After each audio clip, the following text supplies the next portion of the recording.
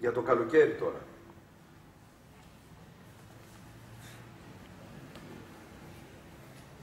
Για την Επίδαυρο έχετε ακούσει, ανακοινώνουμε την Ιφηγένεια στη χώρα των Ταύρων,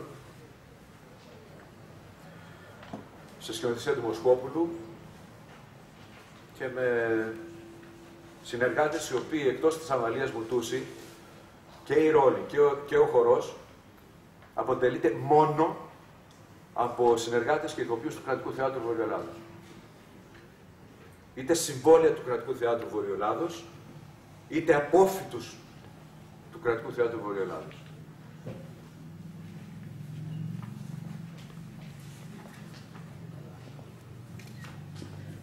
Η δεύτερη μας ε, καλοκαιρινή παραγωγή, θα σας μιλήσει για λίγο μετά ο κύριος Αβδελιώδης, είναι η απολογία του Σοκράτους, με τη δύση του ηλίου έτσι λέγεται.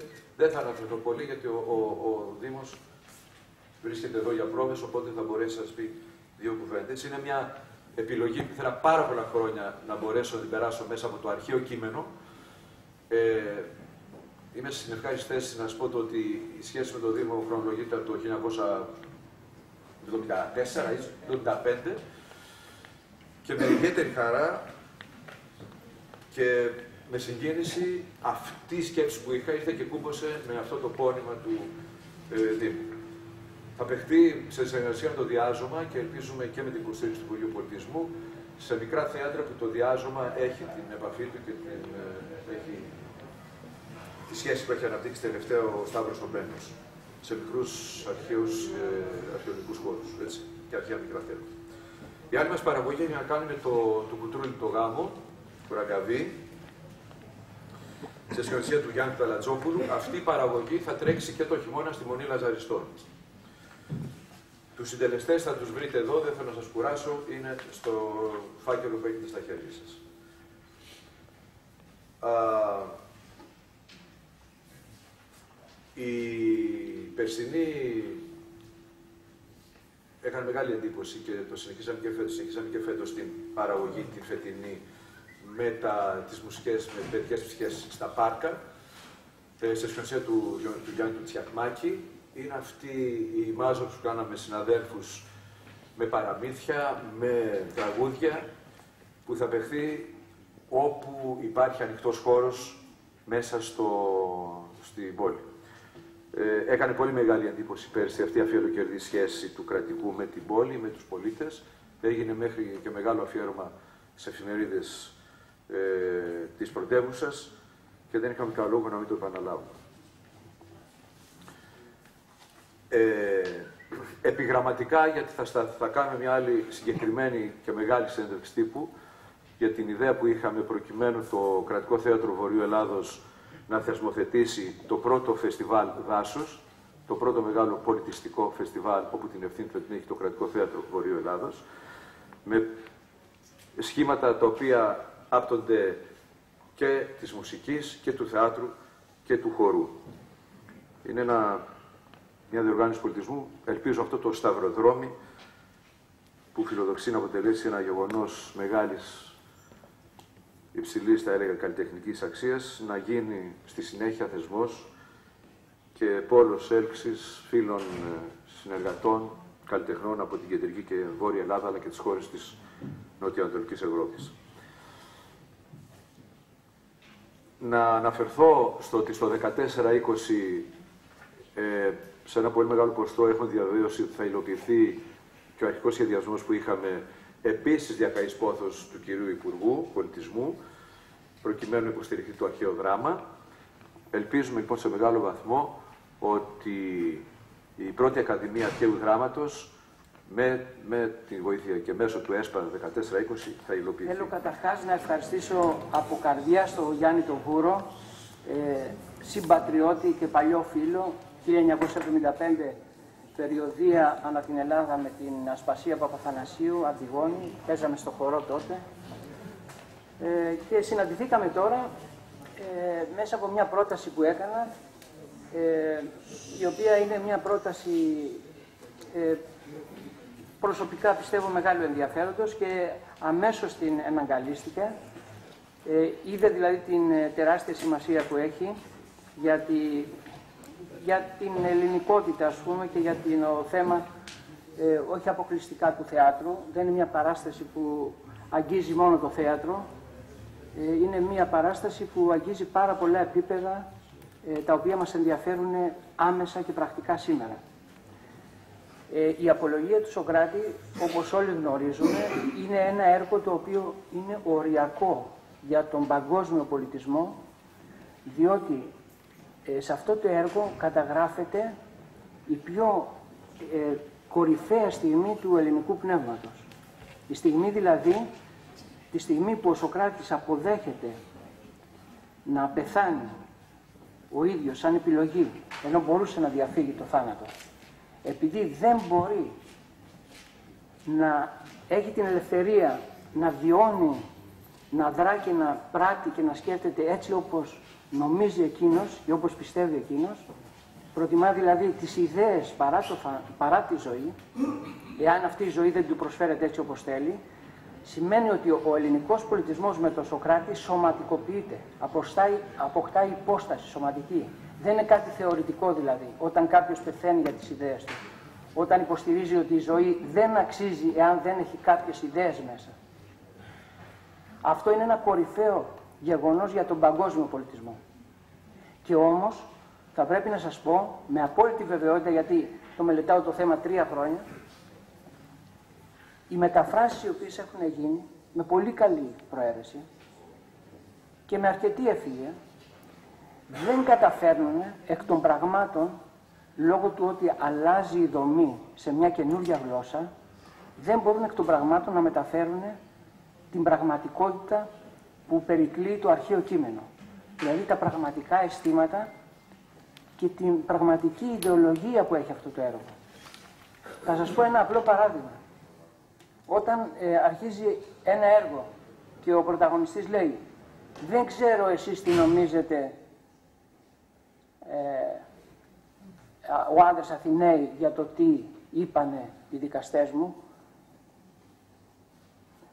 και βάζει το εγώ μπροστά στη μετάφραση σημαίνει αυτόματα ότι αυτός ο άνθρωπος που μιλάει έχει εγωπάθεια τουλάχιστον. Δηλαδή αμέσως διαμορφώνει χαρακτήρα. Η δομή δηλαδή, η επιλογή, πώς θα, πώς θα θεμελιωθεί η πρώτη πρόταση ενός έργου, δημιουργεί αμέσως το χαρακτήρα. Ενώ το αρχαίο κείμενο λέει ότι με νημείς ο άνδρας Αθηναίος, πεπόνθατε, υπό τον εμών κατηγόρα. Ουκίδα. Τι λέει δηλαδή, αυτό το οποίο εσείς, ο Αθηναίοι, έχετε πάθει από τους κατηγόρους μου, δεν το γνωρίζω. Δηλαδή βάζει πρώτα το εσείς, όχι το εγώ. Που σημαίνει αυτόματα μπορεί να καταλάβει κανείς ότι αλλάζει το ήθος του κειμένου. Το ύφος, αν αλλάξει το ύφος του κειμένου, αλλάζει και το ήθο του κειμένου. Άρα το ήθο του προσώπου που μιλάει, του Σοκράτη δηλαδή, άρα και του Πλάτωνα. Το λοιπόν ότι δεν έχει γίνει στα καθημάς η πιστή μεταφορά του νοήματος αυτού του έργου. Και πόσο μάλλον φανταστείτε τι συμβαίνει με τις άλλες γλώσσες, όπου δεν υπάρχουν οι κέρδιες λέξεις για να μεταφράσουν, ας πούμε, την αρχαία ελληνική γλώσσα, η οποία είναι πάρα πολύ πυκνή και πάρα πολύ γρήγορη γλώσσα. Είναι η γλώσσα της ευφυΐας. Οπότε ο στόχος που έγινε να παιχτεί ας πούμε, το έργο αυτό στα αρχαία ελληνικά δεν ήταν για να δείξουμε ότι κάνουμε ακόμα μία μαγιά, πρωτοτυπούμε δηλαδή, αλλά μόνο και μόνο για να μπορέσουμε να ακούσουμε μέσα από το ίδιο το κείμενο την ίδια τη φωνή του κειμένου, άρα τη φωνή του Σοκράτη, ούτως ώστε να μπορέσουμε να καταλάβουμε μέσα από το αρχαίο, να νιώσουμε μέσα από το αρχαίο κείμενο. Διότι γνωρίζουμε όλοι πάρα πολύ καλά και αυτό το αισθανόμαστε, ότι οι λέξεις δεν είναι αποκλειστικός φορέας του νοήματος. Αν δηλαδή εγώ σας πω τώρα ένα κείμενο βιαστικά και γρήγορα, χάνει την αξία του, χάνει την νοηματική του γραμμή, την νοηματική του ταυτότητα. Και ο ρυθμός δηλαδή παίζει ρόλο. Αν το κείμενο αυτό είναι πιστό προς τον εαυτό του ή όχι. Ή μία παύση. Αν εγώ ας πούμε πω, εγώ, από τη γυναίκα της Ζάκης θα λέω, εγώ. Ποιος εγώ θα πει ο άλλος από κάτω πάλι. Ενώ το, το έργο λέει, ο Διονύσιος Σολομός λέει, εγώ Διονύσιος. Συνερεί δηλαδή το όνομα με το, με το εγώ του. Οπότε δεν βγαίνει το εγώ μπροστά, αλλά γίνεται ένα με το εγώ. Εγώ Διονύσιος, ιερομόναχος κτλ. Άρα και ο ρυθμός και οι παύσει, δηλαδή οι μουσικές παράμετροι, ρυθμίζουν στην πραγματικότητα το νόημα. Με αυτό το σκεφτικό το λοιπόν, το οποίο εγώ το έχω κάνει μέθοδο και έχω κάνει μέχρι τώρα 17 έργα, τα οποία δουλεύουν με αυτόν τον τρόπο, με συνθήκες μουσικών παραμέτρων δηλαδή, αλλά όχι όμως για να βγάλουμε μουσική, αλλά για να υπηρετήσει η μουσική όλοι να υπηρετήσουν το νόημα. Κάτι εντελώς διαφορετικό δηλαδή από τη χρήση του πλάγιου ήχου που χρησιμοποιούμε συνήθως στην καθαρεύουσα για να αποδώσουμε το νόημα. Άρα αυτό που κάνουμε είναι κάτι όντως πρωτότυπο, αλλά όχι για την πρωτοτυπία, όχι για τις εντυπώσεις δηλαδή. Είναι ε, κάτι κενό, τόμο, με την έννοια ότι ε, ξαναμπαίνουμε μέσα στο αρχαίο κείμενο για να ανακαλύψουμε, αφού τη φωνή του κειμένου, τι ακριβώς συνέβη εκείνη την οριακή στιγμή του παγκόσμιου πολιτισμού, γιατί ξέρετε, με το έργο αυτό, στην πραγματικότητα, θεμελιώνεται αυτό που στην, ε, στην δυτική ε, φιλοσοφία αργότερα έγινε το είναι και το φαίνεστε, το, το θέμα του είναι και του φαίνεστε, που υπάρχει και στον Άμλετ μέσα. Ο Άμλετ, ας πούμε, ε, αυτό είναι το θέμα που τον απασχολεί. Εδώ ο Σοκράτης και ο, ε, ο Πλάτωνας καταρχάς στο Φέδρο το έχει λύσει αυτό με τη ρητορική, αλήθεια και ψέμα, και με την απολογία του Σοκράτη λύνεται αυτό το θέμα, το είναι και το φαίνεστε. Ο Σοκράτης είναι αυτό που φαίνεται και φαίνεται αυτό που είναι. Ταυτίζεται το είναι με το φαίνεστε δηλαδή. Ενώ στη ρητορική είναι ακριβώς το αντίθετο. Ο Πρωταγόρα και όλοι οι άλλοι σοφιστέ μπορεί να ήταν οι καλύτεροι χειριστές της γλώσσας, όμως είχαν ένα άλλο πρόσωπο όταν διδάσκανε και παίρνανε χρήματα και ένα άλλο τελείως διαφορετικό πρόσωπο όταν οι αυτοί τους. Ήταν διχασμένο το εγώ τους δηλαδή. Εδώ δεν υπάρχει αυτός ο διχασμός. Ο Σοκράτης είναι ένας αθώος και ένα μικρό παιδί μπορεί να το καταλάβει. Και όμως καταδικάζεται. Εδώ αρχίζει η δύση του ελληνικού πολιτισμού στην πραγματικότητα. Και ο Αριστοτέλης μετά εξέλιξε οριζόντια τον πολιτισμό. Δηλαδή αυτή η κορυφαία στιγμή της ταύτισης του είναι με το φαίνεστε δεν έχει ξαναεπιτευχθεί ούτε στον ελληνικό πολιτισμό πλέον, αλλά ούτε στον παγκόσμιο πολιτισμό. Γιατί ξέρουμε ότι ο παγκόσμιος πολιτισμός, ο δυτικός δηλαδή, στηρίζεται σε αυτή τη φιλολογία. Άρα το κείμενο αυτό είναι οριακό. Εμείς θέλουμε να το αναζητήσουμε μέσα από τη δική του φωνή. Να κάνουμε έτσι καλώ ξεχωριστή ζωή Ακριβώς, εντάξει. Απλώς πολύ ωραία. Ε, ε, εντάξει, εντάξει. Εδώ τελειώνω. Θέλω, ε, θέλω μόνο να πω ότι είναι μαζί μου ο Βασίλης ο Καραπούλα, ο οποίος ανέλαβε αυτό το πάρα πολύ δύσκολο άθλημα, μαραθώνιο το λέω εγώ, μαραθών, μαραθών, το δρόμο του θεάτρου, διότι τη δουλειά αυτή την κάνουμε από το 2012, το ξεκινήσαμε, και φτάσαμε σήμερα να είμαστε έτοιμοι ύστερα από τρία χρόνια προβών. Σας ευχαριστώ πάρα πολύ. Ε, δύο πράγματα, συγγνώμη πριν μου φύγετε, γιατί αναφερθήκαμε στις βοήθειες που χρειαζόμαστε συνεχώς από το, το Υπουργείο. Ε, έχω, έχω απευθύνει σε, σε κάποια Υπουργεία όπως είναι τουρισμού, ε, ανάπτυξης εξωτερικών και στο Υπουργείο Πολιτισμού, προκειμένου μια πρόσκληση που έχουμε για το Μιλάνο, σαν κρατικό, να πάει με τους Πέρσες, στις 19 Σεπτεμβρίου να υλοποιηθεί. Το κόστος για αυτή τη μετακίνηση είναι της τάξης των 30.000. Ε, το, το αναφέρω στην τύπου μόνο και μόνο μήπως επικοινωνηθεί περισσότερο στη λογική το ότι δεν μπορεί αυτή τη στιγμή να έχουμε μια πρόσκληση να εκπροσωπηθεί η Ελλάδα, ολόκληρη η Ελλάδα, σε αυτήν την ε, παγκόσμια έκθεση του Μιλάνου και εμείς αυτή τη στιγμή να τετούμε για 30.000 ευρώ, προκειμένου την επιτυχημένη παράσταση του περασμένου καλοκαιριού να την παρουσιάσουμε ως κρατικό θέατρο Βορειοελλάδος εκεί.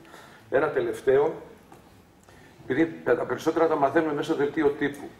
Δηλαδή, εγώ μέσω δελτίου τύπου έμαθα το ότι έχουν ζητηθεί οικονομικά στοιχεία από το κρατικό θέατρο Βορειοελλάδος. Δεν έχει έρθει κανένα mail σε εμάς. Όμως, παρόλα αυτά, 1,5 μήνα πριν με την κυρία Νησαρίδου και τον κύριο Καλφόπουλο ε, παρουσιαστήκαμε σε ένα γραφείο το οποίο έχει ιδρυθεί και αφορά, το γραφείο αυτό έχει σαν αντικείμενο τους εποπτευόμενους φορείς του Υπουργείου Πολιτισμού και τα χρέη τους. Παρουσιαστήκαμε με αυτό το, το τρίτο πόνημα, είναι τρεις τόμοι, τους βλέπετε, που έχει να κάνει, ε, το, το, το πόνημα αυτό στο πόνημα αυτό αποτυπώνεται όλο το κρατικό, κάθετα και οριζόντια, σε ό,τι έχει σχέση με οικονομικά στοιχεία και καλλιτεχνικά. Εκούσια το συγκεκριμένο το παρέδωσε στο Υπουργείο Πολιτισμού πριν από ένα περίπου μήνα, όταν είχα την μοναδική και ε, αυτή τη συνάντηση με τον Υπουργό. Ε, έκτοτε δεν μας έχει ζητηθεί κάτι άλλο. Από ένα δελτίο τύπου μάθαμε ότι περιμένουμε κάποια οικονομικά στοιχεία προκειμένου να προχωρήσει ο οικονομικός και διαχειριστικός έλεγχος. Αυτό λοιπόν τον έλεγχο τον παρακαλώ και τον προκαλώ σήμερα κιόλας. Εντάξει. Σας ευχαριστώ.